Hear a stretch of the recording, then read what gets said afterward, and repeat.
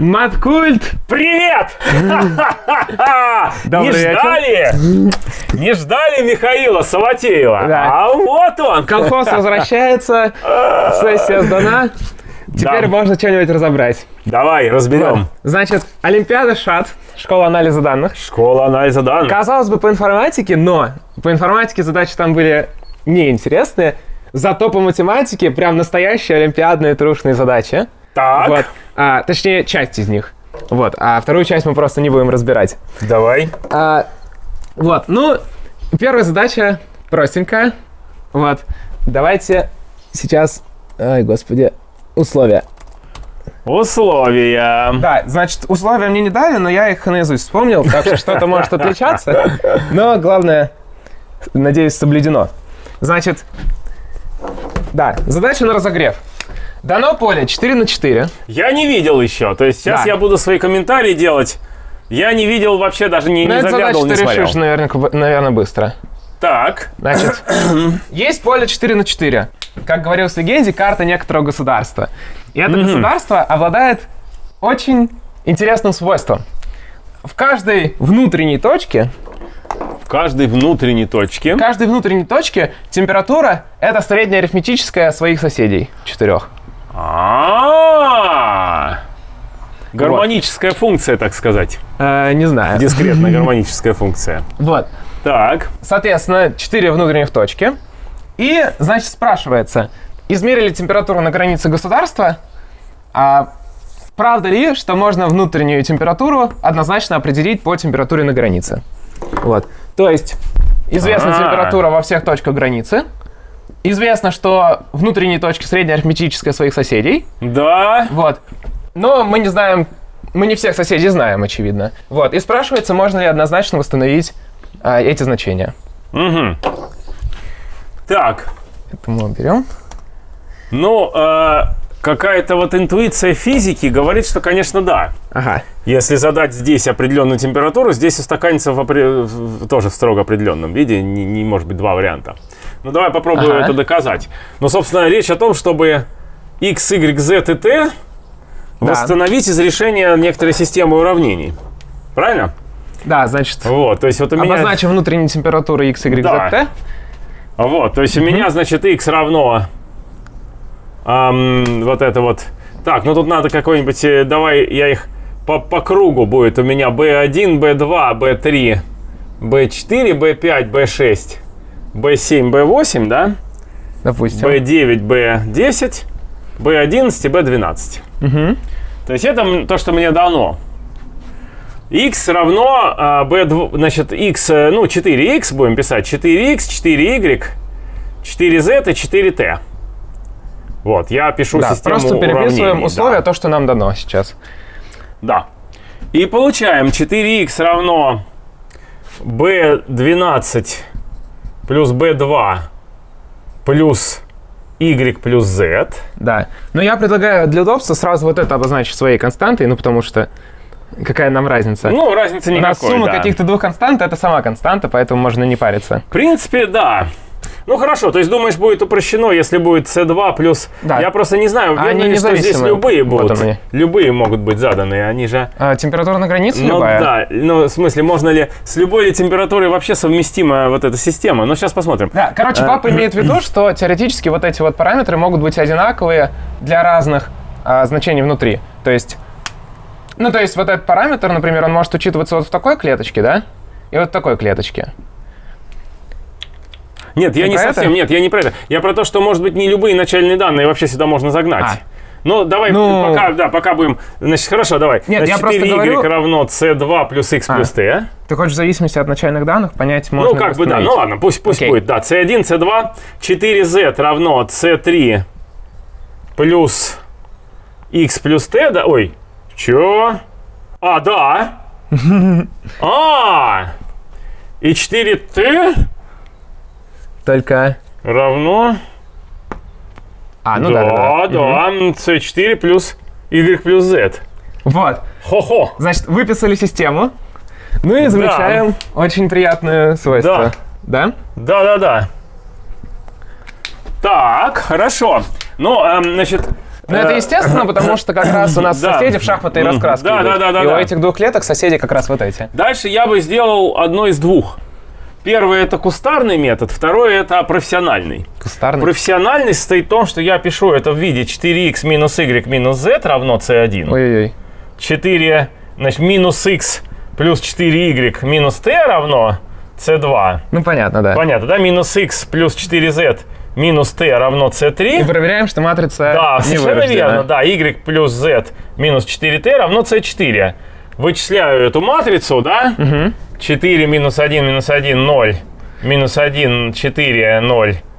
А минус 1, ну, Давай, короче... э, э, сейчас, да, давай э, не да. мельчить. Э, Э, давай не будем мельчить. Короче- я, я хочу сказать следующее, что Ага. вот эта система уравнений, как мне кажется, будет иметь не нулевой определитель. И тогда все однозначно устанавливается и все очевидно. Ну да, то есть, короче, что у нас получается, если просто посмотреть, у нас система линейных Да. уравнений, 4 неизвестные, 4 уравнения. Вот, значит, можно выписать их в виде матрицы, и как бы теорема какого-то первого курса, видимо, что если у матрицы не нулевой так называемый определитель, Да. то решение однозначно. Вот. Тут, кстати, четверки очень сильно доминируют остальное. В этом определителе А. член 4 в четвертой 256. Да, ага. А следующий по порядку член это 16 на что-то. Да, да, да, да, да. И, по-моему, даже можно оценкой получить, что до нуля не Да, догонивается. нормально. А, Вот, вот, то но есть, это как бы- научный метод. Да, и, и Вот. это научно. А кустарность это то, что вычесть отсюда это. Да, а значит, есть метод школьный. Школьный. У нас да. есть две одинаковые суммы, Да, да, значит, да, давайте да, да, с ними да. что-нибудь сделаем. Ну да, ну то есть как бы вычтем из первого четвертое, наверное. Ну, Например, 4 на x минус t равно константа там d. мне кажется, Один. легче прибавить просто. Прибавить? А! Ой, слушай, в смысле... Сейчас, сейчас, сейчас, сейчас. Прибавить что к чему? А, нет, подожди, подожди. Ну подожди. ладно, давай. Я, я как-то, да, я, я не вижу, что к чему здесь прибавить. А, да. Вычеты я Ну ладно, понимаю, да, это- вот это они разных. сократились, да? А 4 на y минус, t, минус z равно d2. То есть x минус t и y минус z однозначно определены уже. Они, мы- Да, мы их да. нашли. Вот, но если мы знаем x минус t, а, так, и, значит, сейчас, как бы это сказать, значит, x выразили через t и y выразили через z. Да. Ну, все равно, наверное, нужно дальше подставлять, да? То есть подставили э, x, выраженный через t, и y, выраженный через z, сюда и сюда, и получилось два уравнения. Ну да. Ну и, наверное, там все сразу Да, видно. ну значит, у меня, я как Потому раз... что ясно, что решать можно первым или вторым методом. Да, вот, я делал по-другому, я О, суммировал. расскажи. Значит, Какое у ну не тебя по-другому, решение, а просто у меня был Ну, кстати, другой мне очень, кустарный метод. понравилось с определителем, что там вот этот член Да-да-да-да. все забивает просто Прикольно. вообще, да. 256 это очень много. Вот, а, ну у меня был другой кустарный метод, я сложил вот эти два и вот эти два. А, так. Вот, и, А. ну, короче, мысль в том, что мы хотим просто сделать новые переменные, одно сумму вот этих двух, второе А, сумму вот ну этих да. двух. И найти Вот. их. И если мы сложим, то у нас как раз тут получится 4y плюс z, а равно там что-то На x плюс, плюс, t. на x плюс t, А, да. то есть и y плюс z, и x плюс t у И тебя... наоборот. И наоборот, значит, То есть у меня получ- получилось уравнение x плюс t, y плюс z, два уравнения, я- так как я обе, А. оба сложил. Из них я нахожу обе суммы, ну а через сумму я сразу выражаю иксы вот эти вот. Они тут просто написаны в таком виде. А, все, все, все, да, точно, точно. То есть, найдя y плюс z, ты... А, тут ну, красиво, быстро, очень быстро. Наверное, да. Здорово, Вот. Ну, потому что я пользуюсь Супер. опять шахматной супер, раскраской. да, супер. Что же, очень здорово, но эту Вот. задачу, Это конечно, я бы решил, задача. да. Вы, надеюсь, тоже решили. Так, вторая Всё. задача, да? Размялись. Размялись. Теперь начинаем металл. Значит, было две задачи. Просто посчитайте что-то на мат ожидания и так далее. Их я даже не считал на Олимпиаде, и мы их не будем разбирать. Ну да. А вот три оставшиеся были интересные. Ну, для меня я бы их назвал олимпиадными вполне. Вот. А результаты, кстати, уже есть? Ты как это Да, написал? да, да, конечно. Нормально, да? Все. Да, но у меня там, по-моему, 35 баллов, что ли. Но это суммарно с прогой, правда. Ну, то есть пригласили, да, на какие-то? Э, да, на собесы Ага. пригласили. Значит, Совбе- Совбез. Пригласили на совбез. итак, значит, что, с какой начнем? Давай начнем с э, самой сложной. Ну, давай. Вторая задача. Самое сложное. Итак, дан Тор. Тор. Вот. Дан. Ну, тут, конечно, так не писали, а писали следующее. Вот синий, видимо, нужно убрать. Убрать. Давай. Да, так. Тор дан. Давай проверю, что идет. Да. Все. Значит, дан. Вот. Ну, в условии написали, конечно же, не так. В условии написали следующее. Дана квадра... э, таблица 4 на 4. Где-то мы такое уже видели. Где-то видели в предыдущей А, задаче. Давай я побольше Да. нарисую. Еще больше. Да. На всю доску. Может, Тор даже мой сотрешь, или Тор понадобится? Ну, Тор понадобится, да? Я Л- думаю, да. Улыбчивый Тор. Так. значит, Ага. дана Четыре. таблица 4 на 4. В ней расставлены числа. Вот. Ну, что за числа? Ну, понятно. 2013, О, 2014, ага. 2015, 2016. Новейшая история вся. 2017 сюда, внимание, они змейкой заполнены. А, бустрофидон. Чё? Это называется как пашет, так, как пашет бык по-греческому. Ага. Бустрофидон. Вот так. Это дедушка открыл где-то. Дедушка Володя открыл, что это называется бустрофидоном. Вот два. да. Выяснили, что я не умею считать. Ну, ничего страшного. Вот он год, в Я просто помню, где год стоит. А это год, это 45 в квадрате, следующий. А это простое число. А это летит вертолет или какая-то еще хрень. Да, но его не слышно. А, ну да, у нас же хорошие микрофоны. Все, значит, дана вот такая табличка. Да. Надеюсь, вы не заскучали. А, Заполнена змейкой. И, внимание, ну, ее концы склеены. Эффект плюс-минус один, между прочим, посмотрите. 13 по 28 вроде как 15 чисел, но на самом деле 16. Да.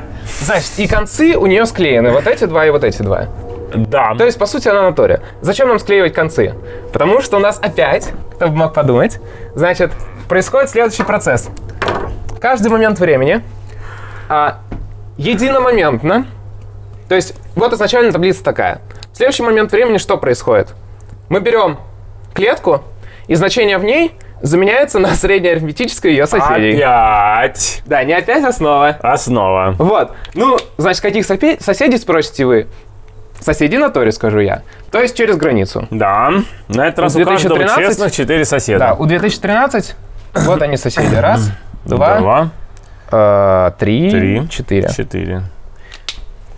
И, значит, вопрос. Сейчас я пытаюсь представить. Вот этот сосед живет здесь, а этот сосед... Ой, нет. Сейчас, подожди. Вот Щас. клетка. Вот Сюда? у нее сосед, вот у нее сосед. А, да, да, да, да, да. Что-то не то. Не те соседи. Не то. Вот это сосед у нее. И вот Извиняюсь. это, да. Вжух. И вжух. Вжух. Да. Все. Все, значит, исправили. Так. Наверное, поэтому они не писали про Тор. Значит, Ну, короче, мысль понятна. Вот, можно считать, что просто бесконечная таблица периодическая. И каждый момент времени заменяется на среднеарифметическое соседей. Значит, вопрос. Есть ли предел в точке, в которой стоит изначально 2024? Вот, то есть стремится ли значение в этой точке к чему-нибудь? А, Опа! Вот, это уже задача посерьезнее. Или будет мигание, да, постоянное? Да, ли- либо оно может мигать, может быть, оно вообще никуда не стремится, может быть. Ну, оно как бы, понятно, что здесь период, э, как бы это сказать, куда-то среднее арифметическое денешь, оно все равно между максимальным и минимальным. Да, ну может быть, оно Бегает. между ними как-то. Ну да, то есть может быть хаотическая беспредельщина, Ага. Может быть, какое-то мигание, а может быть, просто но что-то тем не менее две одинаковые позиции когда-то повторятся, и значит все равно а, будет Ну, у тебя же действительные периодическое. Да, но они все между 2013 и 2018. Но в плане все равно бесконечное 2028. число. А, они же Да, у тебя числа действительно не становятся. целые, да. А, Они не целые. Ой, я глупо сказал, да, конечно. ну, кстати, на первом шаге, видимо, будут. Или Ну, будут? не знаю, ну, в общем, Два, так, да, восемь. как А, нет, бы- даже на первом шаге не Не, будет не уже будет, не будет. полуцелое. Ага. Ух, Вот. какая задача. Думаете? А, слушай, какая задача. Это очень интересная задача, а главное, э, мне кажется, ее решила человек 6, и примерно у всех разные решения. У меня такое сложилось впечатление. Ты решил, да, ее? Но я ее решил вот сейчас, пока сидел. Ну, в смысле, я ее дорешал, короче, да. да. Вот. Тогда я над ней думал, но я не смог запрухать некоторый факт. Вот, сейчас до- доделал. Ну, может, не у всех разные, но там точно много разных идей. Я знаю как минимум три идеи, как она делается. Одна моя и два друзей. Да. Так. Слушай, даже интуитивно я не могу сказать все-таки. Но интуитивно, интуитивно везде предел будет. Интуитивно они все сваливаются. э, интуитивно мне кажется, что во всех клетках предел равен 2020... э, 2020 с половиной. То есть средняя арифметическая. Да, всей таблицы. Да, значит, первая папа говорит следующую вещь. Сумма не меняется. Да. Вот. То есть, смотрите, сумма от этого процесса не меняется, очевидно. А, значит, если предел есть, то он должен быть, ну, не нет, совсем не так, совсем, да. нет. Значит, а, если пределы в разных клетках да, у всех е- одинаковые, если во всех то мы клетках знаем, предел да, одинаковый, то 2020 то он должен быть с половиной, 2020 с половиной, если он вообще существует. Да. Может быть, они, он в разных клетках Может разный, быть, в может разных быть, его клетках вообще разные пределы, да. Короче, Ну, ничего не понятно. Вот- Мне как-то вот, вот Ага. мне принципиально кажется, что здесь есть какая-то сходимость на основе каких-то... э, у тебя были уже теоремы о с, э, сжимающих отображениях? О, а, да, неподвижная да? точка, если... Да. Если, Если в какой-то строго метрике... сжимает. Да, строго сжимает. И это то, что мне приходит в голову. Где мы что... ее использовали? Она вот буквально в этом семестре Ну, она, была. например, в дифурах. по-моему, Э, в Фурье. Решение... А, нет, дифуры, да, дифуры. реш- решение... Существование Каши? решения... Каши. Да, задачи каши. Задача каши. И вообще это очень важный прием. То есть я думаю, что здесь есть какое-то сжим... какое-то сжатие вот в этом вот. Если я беру эти 16, ти- ну, в 16-мерном пространстве, вот это отображение, да, Э, оно будет сжимающим. Ну, я не знаю, как А, сейчас ну, это доказать. смысле, ну, разница между максимумом и минимумом будет уменьшаться, если Но такая не это. совсем. Я о том, что Или тебя другая матрица, метрика? матрица, значит, матрица этого отображения из R16 в R16, она будет обладать в некоторой, ну, как бы, какой-нибудь очевидной норме, какой-нибудь норме, да, максимум там э, растяжения модуля вектора, Ну, я примерно понял, что ты имеешь в виду. будет обладать свойством сжатия. И тогда, конечно, будет предельный, просто будет Давай, чтобы ты не мучился.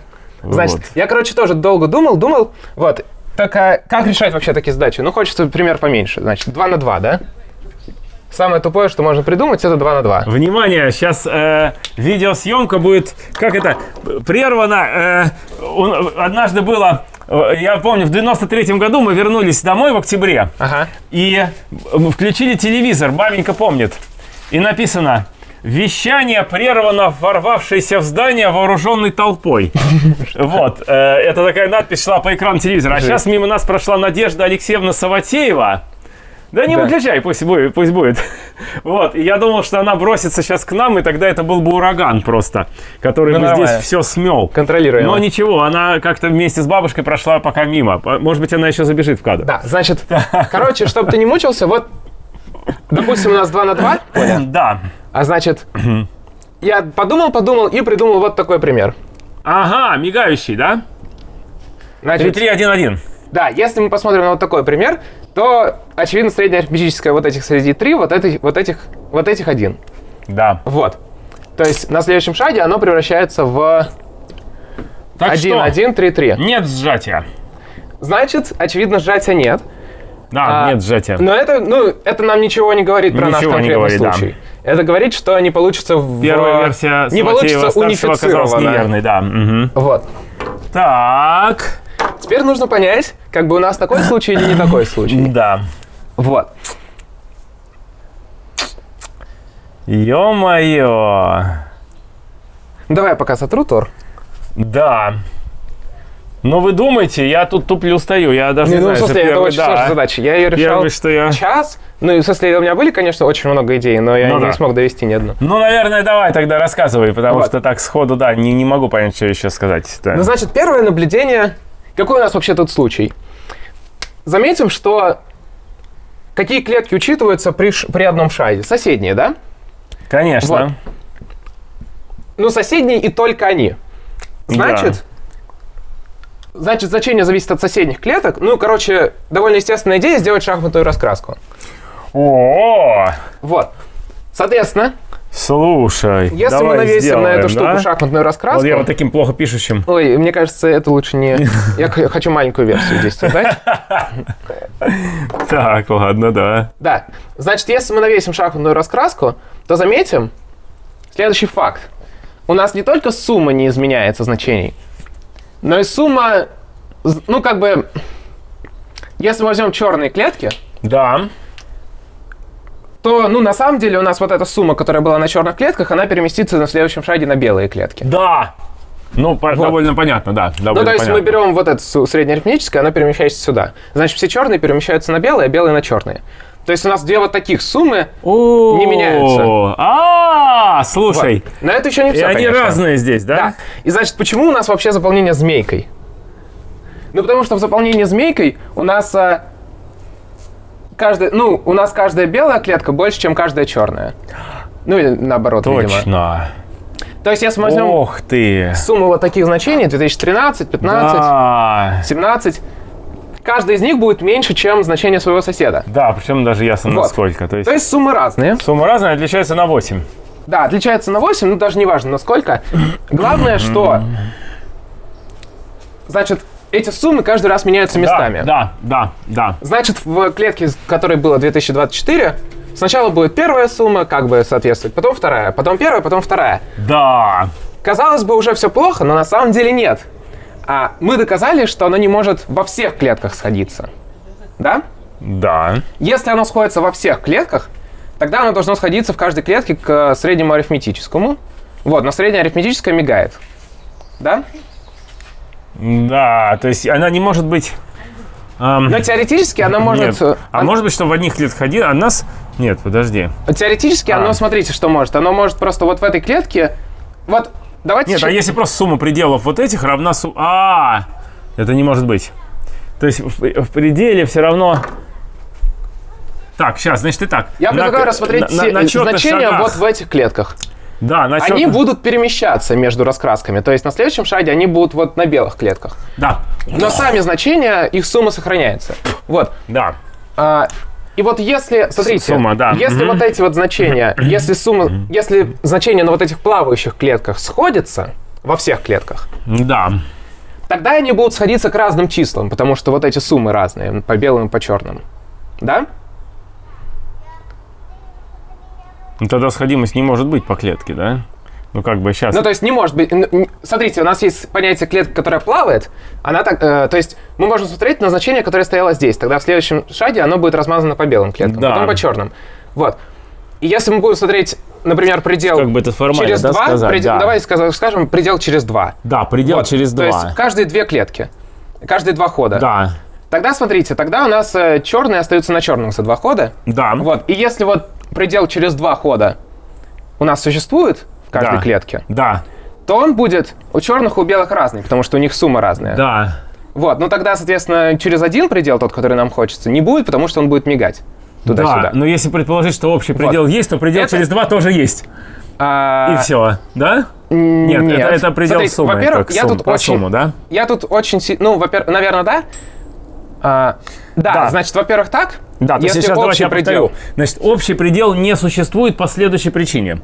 Общий предел суммы общий белых предел во всех точках. во всех точках, да. Во всех точках. Нет, ну вообще, э, да-да-да, во всех точках. Да, Потому что если бы существовал предел в каждой точке, да. тогда, а, тогда предел э, существовал бы у суммы значений в белых точках отдельно и у суммы значений в черных точках отдельно. Ну, Тогда да. бы этот предел был равен пределу через один взятому и там, и там. Ну, да. А, пределы через один разные. А, да, да, да, И да. поэтому тогда бы мы сразу получили, что предела нет, потому что через э, один он бы мигал. Да, ну, короче, тут немножко сложно говорить, но идея понятна, что вот у нас Да, через два сумма не не меняется, ставить и предел. если есть предел через два, то через, ну, если есть предел через один, то через два тоже будет, а через два он не будет, потому что он меняется. Да. Но тут есть тонкий Круто, момент, что мы, круто. мы, мы доказали, что не может во всех точках одновременно быть да, предел. Да. Вот. Дальше есть несколько подходов. А, значит, ну что делал, например, мой э, э, одногруппник-тополог Никита Андерсон? Он рассмотрел следующее. Он рассмотрел группу симметрий Стора. Значит, он взял все симметрии Тора и сказал, что если мы взяли какую-то симметрию и в какой-то точке сходится, то в точке, которая симметрия переведет, тоже будет сходиться. Так, а группа симметрий, при этом учитывающая шахматную раскраску. Ну, в смысле, там всякие... Ну, в смысле, вот у нас вот эти есть 4 кле- э, 16 клеток на Торе. Мы берем как бы какие-то преобразования, которые переводят вот эту вот Да. табличку в себя, но по-другому. Ну, например, мы просто вот так перевернули ее, условно говоря. Вот. Да. И значит, Никита говорит, что... Ну, я, я идею рассказываю, у меня другое решение. Никита говорит, что если у меня в какой-то точке сошлось, в одной, да. в частности 2024, то когда мы возьмем симметрию, у нас э, мы все преобразования через эту симметрию прогоним, и получится, что в точке, в которой, в которую эта точка переведена симметрией, тоже сойдется. Я пытаюсь понять. Дело в том, что симметрия же заменит исходное э, состояние этих чисел. Ну, то есть я, допустим, сдвинул тор, но с- заменил. У меня же начальные данные после этого другие. М, Как же это за аргумент такой интересный? Валидный ли он? Ну, э, ну, в смысле, я его не очень корректно излагаю, потому что я идею Ладно, саму давайте схватил. так, давай, Но, э, Никита, да, Мысль пусть. должна быть примерно такая. А, значит, Ну, а симметрия переводит... Я её до конца не осознавал, Да, я- это правда. Мгм. Ну, короче, Ладно. мысль в том, что мы хотим доказать, что если мы симметрии перевели с какими-то там, э, с какими-то соображениями, то в другой точке тоже сойдется. А потом мы находим группу симметрий, которая действует транзитивно.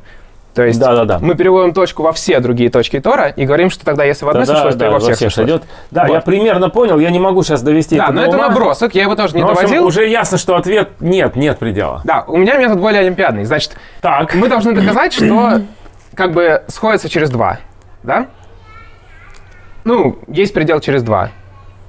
а, То есть я хочу доказать, что отдельно, если мы возьмем черные клетки, то по ним будет сходиться. через два. Да. И тогда, соответственно, как мы уже показали, он Не может не будет сходиться через один. Так, будет мигать, да. всё Вот. равно. Но мигать сейчас, но мигать где? В какой точке? В А любой? я хочу сказать, что он будет сходиться везде через два. А, в каждой точке Да. будет сходиться значит, через в частности, здесь, значит, в частности, в каждой он не будет сходиться через один. Да, э, а почему? Может быть, вот это конкретно 2024, 2024, А 2024? если он сходится во всех точках, он сходится к какому-то значению. Это значение среднеарифметическое черных клеток. А, в смысле, ты хочешь сказать, что у всех черных клеток... Я хочу сказать, что через вот два предела через один два предел, ну да, один и тот же. Ну, ну, он во всех сходится, значит, один и тот же, как бы. А, нет, ну, и я фигню сказал, наверное. Ну, короче, да, к одному и тому же сходится. сказать, доказать? Короче, я просто доказываю, что он Если ты стремится к среднему что да, тогда все, тогда все будет доказано. Вот. А, Тогда, собственно, ответ даже нам понятен. Это будет мигающее среднеарифметическое, то да, там, да, то да, там. да, то там, то там. То есть та же, как здесь. Вот, но нужно доказать, что вот эта штука действительно сходится в каждой клетке по черным, по черным, ну, в каждой черной клетке к одному и тому же. Офигеть. Вот. А, значит, как я это Ух делаю? ты, блин. Вот другой человек, например, Фантастика, Алексей да. Санин. если вы про него что-то слышали, он доказывал, он просто полуинвариант нашел а, и доказал, что он типа стремится к нулю. Полуинвариант. Вот. Но я так делать не буду. Ага. Значит, Так. я говорю следующее. Очень круто. Слушай, какая Давайте- красота. Кто такое выдумывает? Да. Давайте посмотрим на процесс с другой стороны. Давайте посмотрим не что в клетку попадает, а что из клетки уходит. Так. То есть мы знаем, что клетка это средняя арифметическая соседей, Да. но на это можно смотреть по-другому. Давайте считать, что каждый ход клетка раздает свое содержимое поровну всем соседям. А, именно поровну, да? Да, ну, Как бы. с- да, то есть, смотрите, мы просто в этой клетке есть значение а, то мы а на 4 отдадим каждому из своих соседей. Так. Вот. В таких терминах очень удобно думать. Почему? Потому что через n шагов, что у нас будет через n шагов? По сути, если у нас есть какая-то клетка, значение в ней, оно всегда складывается из э, значений, ну, понятно, из значений всей таблицы, да? Вот. Но если мы возьмем другую клетку, то сколько из этой клетки перейдет вот в эту? Какой вклад вот эта клетка принесет через n шагов вот сюда? Ну, это просто количество путей. А, о, как красиво! Вот, причем пути могут быть какие-то через, через Тор идущие, понятно. Да-да-да-да-да. Вот. То есть, короче, я говорю, что... И не самые кратчайшие, то есть какие а, угодно. ну, длины ровно n.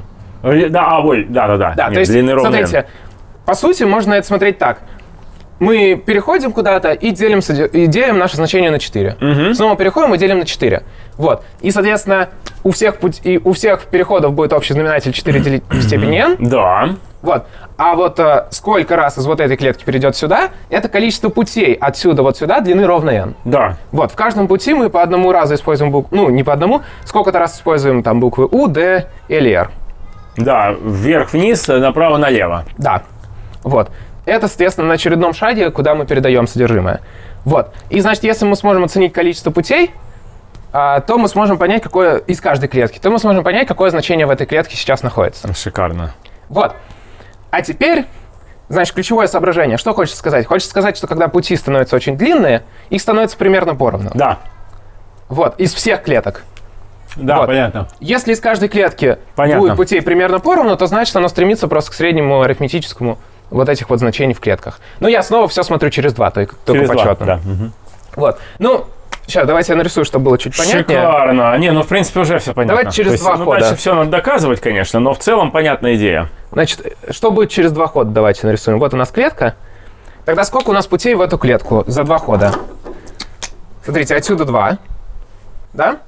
Раз, два. Да. Ну, понятно, отсюда два, отсюда два, отсюда два. Внимание, отсюда тоже два. Да. Потому что вверх можно на 2 пойти, а можно вниз на 2 пойти. Два Да. вверх на торе то же самое, что 2 вниз на Да, торе. да, да. Вот, ну отсюда 0, Да. отсюда 4. Вот, потому что мы туда-сюда, туда-сюда. Да. Вот. Ну, оно уже довольно близко к равномерному, но, понятно, вот это что-то забивается. Тут два тоже, да. Ага, А, да. Мгм. Ну да. мгм. Вот. Хорошо. Теперь давайте это как-то формализовывать. Значит, Да. мгм. Вот пусть обозначим h... Ну, давайте, h итое житое, допустим, это количество путей из клетки в нашу.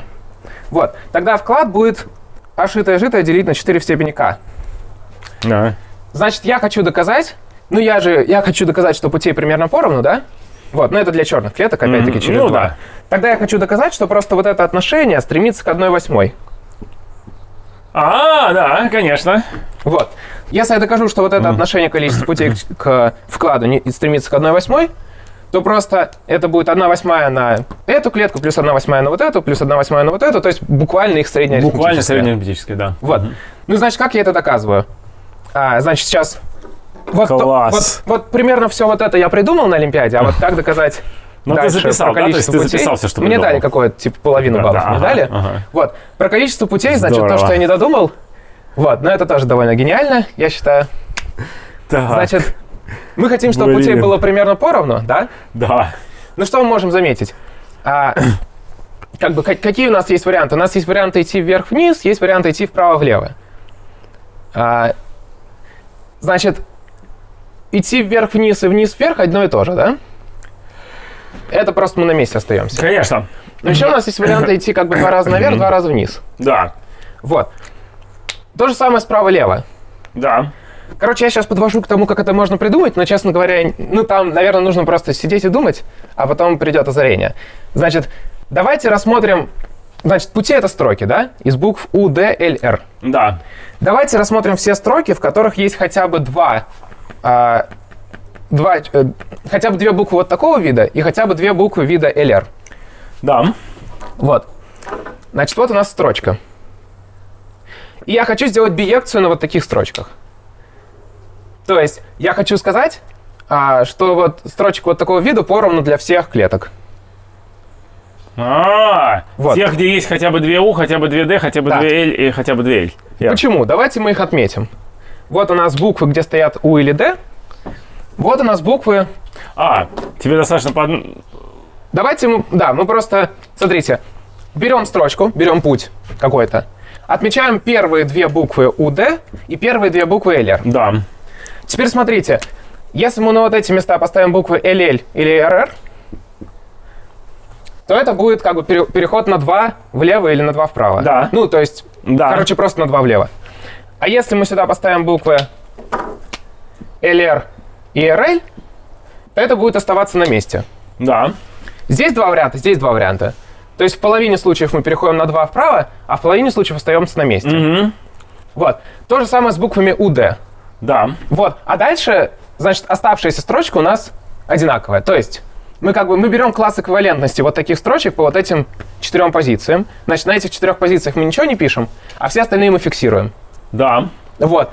И значит, значит, все остальные нас куда-то привели, а потом мы можем равновероятно либо подвинуться на 2 вверх, либо остаться на месте, и равновероятно либо подвинуться на Да. 2 вправо, либо остаться Либо на месте. на месте, да. Естественно, у нас получается, что мы равновероятно придем, либо останемся, либо придем сюда, либо сюда, либо сюда там. Ну да. Ну да.